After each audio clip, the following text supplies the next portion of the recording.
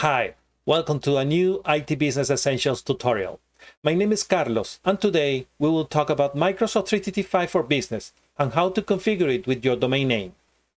When you buy Microsoft 365 for Business, the first thing that you need to do is to connect it with your domain name. It will let you make use of Microsoft Exchange Power. Adding your domain name to Microsoft 365 could be a little bit intimidating. However, here I will show you how to do it step by step. You will see the process from purchasing the first license to creating the first user. Let's jump into our computer and I'll show you how it works. We are now in our computer, opened the browser, and visited Microsoft.com. The first tab that we're going to find in the top menu is Microsoft 365. So we click on there, and we can see here the different Microsoft 365 licenses or subscriptions that Microsoft has. We will see Microsoft for Home, for Business, for Enterprise, and for Education. In our case, we are going to center this presentation in Microsoft 365 for Business.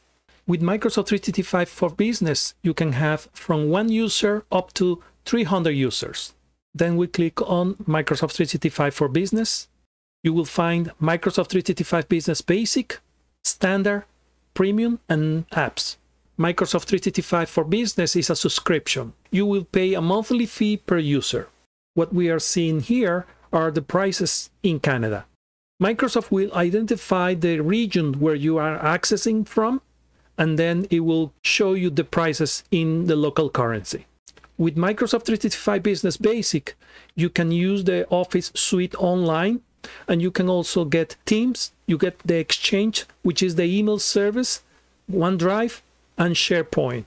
With any of the Microsoft 365 for Business, you will get 50 gigabyte of storage for email and 1 terabyte for OneDrive and SharePoint. Microsoft 365 Business Standard include everything what is included in the Microsoft 365 Business Basic plus the ability to download the Office apps to your desktop. Microsoft 365 Business Premium will give you all what you get with the Microsoft Standard plus some additional security features. Our presentation today will be based on Microsoft 365 Business Basic. However, all the steps that we will do here will apply exactly for Business Standard and Business Premium. Let's click on Buy Now. So the first step is to enter a email address. Microsoft will try to identify if you are part of an organization that already have Microsoft 365. For example, a school. If you're if you work for a school and the school has Microsoft 365 already, it will tell you that you can have Microsoft 365 with your email address that is associated or connected to the school. So we click on next. In this case, Microsoft already identified that our email address is not connected or associated with any organization that has Microsoft 365. So we click on Set up account. Now we need to enter our information. So I enter my first name, last name, my phone number. The phone number will be required for verification purposes. Company name, in our case, I'm going to just use my name and I have to tell Microsoft what region or what country I am located. So click next. So now we have to decide how we want to make the verification. Uh, we have two options. You can send me a text message or I can receive a call. In my case, I prefer to receive a, a text message with the code. So I click on send verification code. We have received our verification code in our phone and I click on verify. It is now giving me the option to enter my domain name. If I have a domain name, uh, I just click here on this option, use a domain name you already own. If you don't have a domain name, you have the option to purchase a domain name from Microsoft, or you can bypass this option for now and click here, and Microsoft will provide a domain name that will look something like this, like the name of your business dot on microsoft.com. In our case, we have a domain name already, so we are going to select here and we enter our domain name. Once we enter the domain name, we need to verify the ownership of the domain name. Our domain name is itbe.cloud, and Microsoft is telling us that we need to add a TXT record to our DNS records. These are general instructions. We need to sign in to your domain registrar website, go to the DNS settings, create a new TXT record. Here is the value of the TXT record that we need to enter. We're going to access the domain manager where we have our domain name records and we will enter this value. Once we enter this value this record for, a domain, for our domain name, we come back here and we click on I have added the TXT record. In general, there are two places where we can possible uh, edit or add the TXT record. It could be the place or the company where we register our domain name, or it could be our web hosting provider. You have to access domain manager or DNS manager to add the TXT record. In our case, we have already opened our domain manager. Uh, we have opened a new tab here uh, where we will add the TXT record. This is how our domain manager looks like. Uh, this is uh, called cPanel. In this area, we will, we will see different lines, every line with a different record. Microsoft will be able to verify that we are the owner of this domain name if we are able to add the TXT record. We click on here, add a record. We select the type of record that we are going to add. It's a TXT. We copy the value that we got from the Microsoft page once we enter the value that we copy from the Microsoft page and we end copy or paste our domain name, we click on add record. Then our record has been added. If we scroll down to the bottom, we will see here the new TXT record that we just added. Now we are ready to complete the verification. We are going back to the Microsoft page. It is possible that we may need to wait a few minutes before the verifications can be completed. And we click here on we have added the TXT record. So we are now in the third step. We will need to create a user ID and password. This will be the first user which will have the admin access to the Microsoft 365 Admin Center. If we are going to have, for example, only one user, that will be the user that will have that license. So we are going to create our user in our case, it's going to be carlos at itbe.cloud. And we are going to enter the password and confirm our password. In this case, we are not going to select these options. We don't want to receive any information in this account. This is going to be just for this presentation. Then we click on sign up. So it seems that our account has been created and now we need to add the payment information. If we need to create additional users, we will need to increase this number as many users as we have. We will be able to add additional license and create additional users after, after we complete the setup. So we may click on add payment method. We will enter our credit card information. However, Microsoft won't charge our credit card until the end of the 30 days trial period. We have entered our payment information and we click on place order. We now see the order confirmation. We can see here also the email address that we have created under our domain name. This will be the actual Microsoft 365 username that we created. If we want to change something in our subscription, we click here. In our case, we are going to click on Get Started. So we have now accessed the Microsoft 365 Admin Center it is now asking if we want to use our domain name, the one that we already verified, which is itbe.cloud, or we can add additional domain names. In our case, we want to just continue working with this domain name. This is the domain name that we want to work with. But something important is we can add as many domain names as we wish or as we need. With additional domain names, we will be able to uh, create aliases we will be able to create groups, different users with different domain names. we are not going to add any additional domain name at this moment. So we click on use this domain.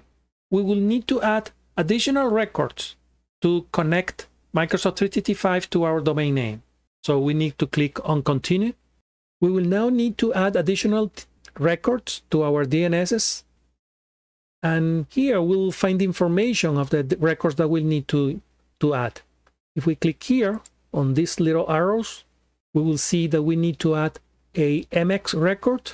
The MX record is what will activate our email service. Then we have to add this CNAME. This will help our devices to auto configure the email address. And this record is a new TXT record that will help other providers to identify our emails. So we click here to copy the MX record. We need to be aware that we need to add priori priority zero. So we go to our domain manager. So we click on add record. We select the type of record that we want to add is an MX record. We know that the priority is going to be zero. We paste the value that we bring from the Microsoft page. And here we enter our domain name. That should be okay. We click on add record. Our record has been added. So we can see here that our MX record has been added. It is good idea to verify if there are any other MX record that might be in conflict with this one. We can see here other MX records. We can see here this one with priority 1, priority 5, 5, 10, and 10. This one, the one that has value 0, which is lower than 1, 5, and 10, will be the one that is working at this moment. If I set this MX record with value 15, for example, or 20, then the one that is going to work is this one with priority one. What it means is that our email service with Microsoft 365 will start working from now on because this is the one that has the lowest, the, the highest priority. Highest priority means the lowest number. So we are going to add the other records. Let's go back to the Microsoft page. We will click here, the CNAME. is going to be this value. We'll go back to our page here, click on add, select CNAME, under name, we need to go back to the Microsoft page. We copy this one here under name. It is auto discover. We go back to our domain manager. We click here, we paste here auto discover. This record will be ready. We can click on add. If we scroll down, we will find the CNAME already added. We need one more record, which is a TXT record. We will go back to the Microsoft page. We copy the TXT record here. The name will be the domain name. We will go back to their domain name to our domain manager. We click on add record. We select the TXT record. We paste the value. And here we place, here we put our domain name. We copy the domain name here. Then we click on add record. And the TXT record should be added at the end. Let's scroll down and here we have it. So now our Microsoft 365 is completely activated the email service is now working. Let's see if Microsoft already recognized the values that we have added. So we need to click on continue. Now Microsoft has confirmed that the setup is now complete. We can click on done. At this moment, our Microsoft 365 account is ready to work, including the email service. If we want to add additional users, since we are within our Microsoft 365 Admin Center, we will be able to do it from here we can click on these little three dashes and it will, it will expand our menu.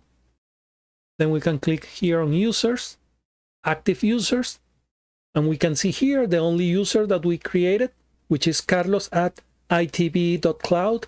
We can add additional users by clicking here. However, we will need to purchase the additional license before we can actually assign the license to the new users. If we if we want to purchase additional licenses, we click on billing, then click on your products. We will see here that we have only one license. We click here on the three dots and click here on buy licenses. Once we purchase the license, we can go back to users, create users, and assign the license that we purchased. We can buy additional licenses, Microsoft 365 Basic, standard, premium apps, and we can also purchase or buy other type of licenses like, for example, Microsoft Project, Visio, Power BI, Only Exchange, or Dynamic 365, OneDrive for Business, and many others. To do that, within our Microsoft 365 Admin Center, we need to click on Purchase Services, and here we will find all the type of licenses that we can purchase. You can see here Microsoft 365, Office 365, Business Apps, Collaboration and Communication, Dynamic 365, Security, Power BI. We just need to select the license that we want and proceed with the payment. Then we can create new users and assign their licenses. At this point, our Microsoft 365 account setup is complete. In other words, we created our first user and he can now access his Microsoft 365 account and make use of all apps, tools, and services that are included with the assigned license. Now, how can the user access his Microsoft 365 account and start using it? When we create or enroll a new user within Microsoft 365, we generate his password as well. The next step should be giving him his login information. His login information should be the username, which is the email address, and the password. And of course, a URL where he or she can log in. Let's see how a user can access his account. We will use our first user, the one that we created during this stop, which is carlos at itbe.cloud. To access the account as a user, I'm going to open an incognito window within this same browser, clicking here on the right, new, new private window, and we are going to use login.microsoftonline.com. There are other URLs that users can use to logging into their Microsoft 365 account, but this is one of the URLs that you can use. We enter the username, which is in this case carlos at itbe.cloud. Click on next, and we enter the password, and click on sign in. By default, Microsoft 365 has enabled the security features in this case, the user will need to complete the information in, in order to, to use multi-factor authentication or two-step verification. I'm going to skip this process by now. I'm going to, the user will have 14 days to complete this step and start using the two-step verification. We're going to click on skip and click here you can use either yes or no, depending on if this is a computer where you usually log in. And we have now access our Microsoft 365 account as, as a user, as a general information. On the left, we will see the different apps that the user can use. These are the most popular apps like a Word, Excel, PowerPoint, Outlook, OneDrive, Notes, SharePoint in Microsoft Teams. Because this user is the admin Uh, is the first user that we created, he also will find this icon here, which will give him access to the Microsoft 365 Admin Center. If this user had the Microsoft 365 standard license, the user will be able to click here and download the Office apps and install it in his desktop. If you want to access additional apps, you click on the upper left corner and click on All Apps and you will find all the apps available with this license. With this, we are getting to the end of our video today about Microsoft 365 and its configuration. I hope you find this video useful. If you do, please give us a thumbs up. If you have any comment or question, just leave it below. If you want to see more videos like this one in the future, or if you want to find this video easily, please hit the subscribe button here below. Thank you and I hope to see you next time.